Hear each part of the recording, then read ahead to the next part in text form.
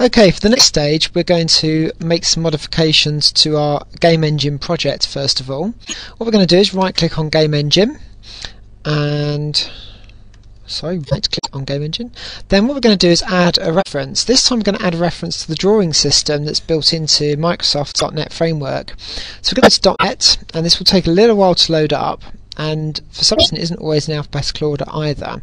But the one that we're looking for is system.drawing. Okay, so once we've got that, we're going to hit OK and make sure that then gets added to our system. Uh, it's just here, drawing. Now use it within our usings at the top to make it, um, life easier for ourselves. What we're going to work on first of all is the camera so what we're going to add is a using system.drawing. This contains things like the point variable, um, a bitmap, which obviously we're going to need because we're going to be drawing to graphics quite a lot, and will allow us to create our class of camera. Now, the first thing we're going to do is make this a public class. The camera needs to be visible within the form itself. And we're going to need a few different bits and pieces uh, of variables to actually run our camera. So I'm going to start with the variables themselves. Um, the first variable is going to be the offset in the world. Okay, so this is where the camera is currently drawing, currently located. Um, we're going to need a bitmap which actually forms the camera screen. So we'll put that in. And we also want to know where on our form we're actually going to draw this camera. So uh, for that we're going to use another item within uh, system drawing, a rectangle. And I'm going to call that draw location. If I can know how to spell. Now we're going to draw a whole series of Z levels on our camera um, and so say we've got like objects at Z level 1, Z level 2, Z level 3, they've got different distances and heights. And we draw in Z level order. So draw all the items on Z level 1 first of all, then all the items Z level 2 are drawn on top, and so on. So what we actually need to know as well is we need to know the start of the Z draw level that we're going to draw, and the end. Otherwise, we won't know how many draw. This might mean that you can have items which are actually higher up than the camera can see that are hidden from view if you like until you actually need them. We need to know what type of camera it's going to be. Um, so again, we're going to set up something. This one's the camera type that we've uh, we put together the last video, um, the enumerated type. We also want to know whether to draw the background or not. At times we actually want to draw things with your camera that don't include the background that you're drawing on top. So how do we set up this camera? Well, just like um, we did with the um, structures, we're going to set um, the camera up with a what's called initializer. Uh, draw location, camera type, camera style. Notice the capitalization I'm using again, so that there's a difference between the capital letter CS for camera style, a lowercase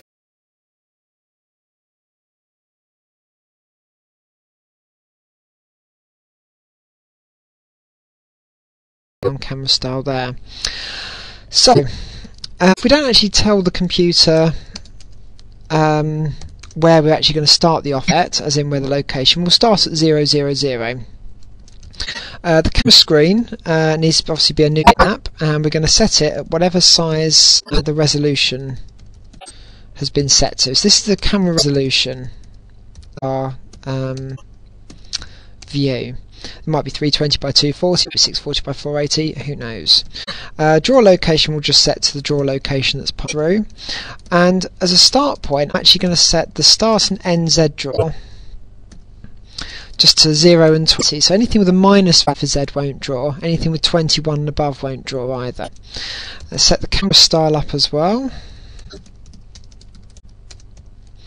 And I'm going to set show background to equal true as a, as a basic start point.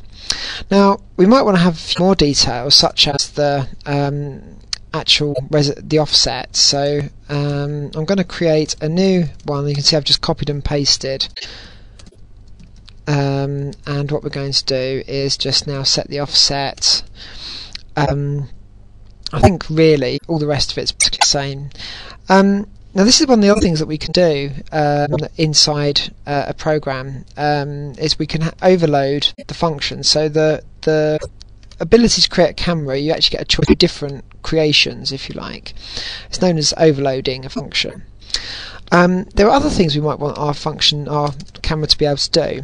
So I'm going to create two more public functions which everyone can access. Um, first of all, I might want to have to move my camera in the scene and I might want to move it to a set location. So what I can do, I can actually um, create a, um, a piece of code, a, a function, which is a method because it returns no value, that will move the camera to whichever section that we set. So offset equals new position. So instantly that camera will move to the new position when I call that piece of code. Sometimes I might want to scroll the camera by so many uh, pixels.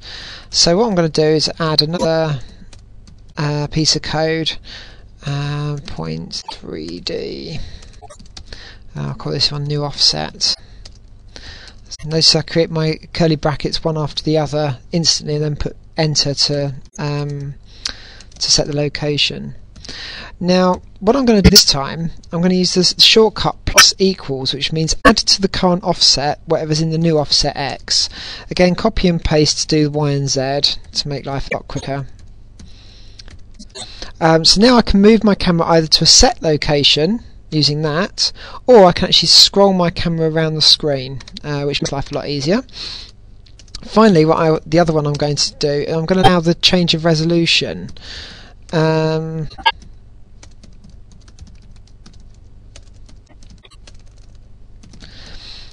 and the reason for this is you can use this basically to zoom out. That's how it will look on your uh, uh, on your screen. New bitmap, and we're going to choose it to the new resolution dot width resolution dot height. The lower these numbers, the more like the more it will look like you're zooming in. The um, higher the numbers, the more like you're zooming out. Okay, but the bigger the numbers, the bigger the resolution of the camera screen, the slower your game will be because the more work the software actually has to do. So that is actually our camera object, uh, as simple and straightforward as that. So we've got a series of variables there um, which we can use to set up the camera. Uh, we can initialize the camera in two different ways and we can move the camera around either to a fixed position before we switch it back on or scroll it around and if we need to we can change the resolution i.e. zoom in and zoom out and that once saved build Bill gaming is actually your camera created